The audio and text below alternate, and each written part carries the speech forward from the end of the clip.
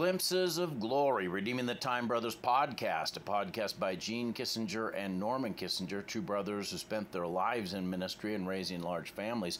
Our desire is to provide a digital place for those who long belong, and as always, we want to leave a nightlight on for you.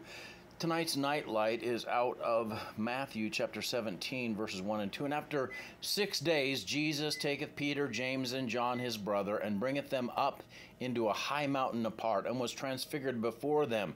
And his face did shine as the sun, and his raiment was white as light in the midst of life's daily grind, God graciously grants us moments that transcend our earthly experiences, instances when we feel fully alive and connected to the divine. These are the mountaintop experiences that offer us a glimpse of glory and remind us of the greater reality beyond this old sin cursed world.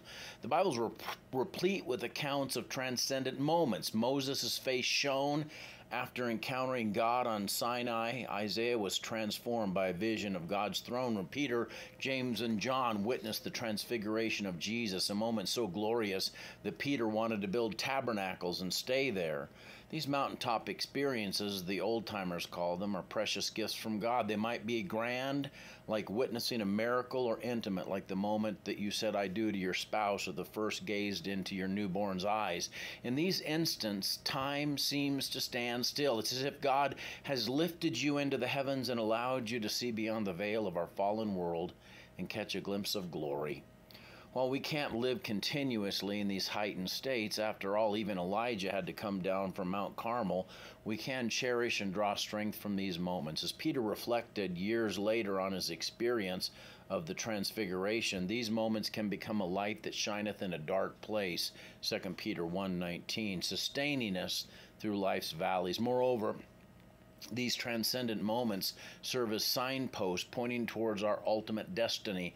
As Paul reminds us, for now we see through a glass darkly, but then face to face. Now I know in part, but then shall I know even as also I am known. Each glimpse of glory whets our appetite for the day when we see God face to face. Here's the points of application. Recognize transcendent moments. Be attentive to those special instances where you feel close to God and fully alive. And they may be in nature, in worship, in relationships, or even in very unexpected places. And then record those experiences. Keep a journal of your mountaintop moments and write down the details while they're fresh in your memory and then reflect and relive those times uh, so that in discouragement you can purposefully recall these moments and let God's memory of his nearness encourage you in that.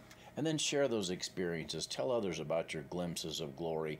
Your testimony can encourage fellow believers and be a witness to non believers. And cultivate anticipation, looking forward to future transcendent moments, knowing that God's del- God delights in revealing himself to his children. Heavenly Father, we thank you for those precious, transcendent, glorious moments when you lift us above the dreary grind of this world and let us have a glimpse of your glory. Lord, we cherish those experiences as gifts from you. Thank you that in the valley, in the dark valley moments of life, we're encouraged by your presence in these situations. Thank you, God, for that. In Jesus' name, amen. Hey, God bless you. I love you, but Jesus loves you so much more. Have a great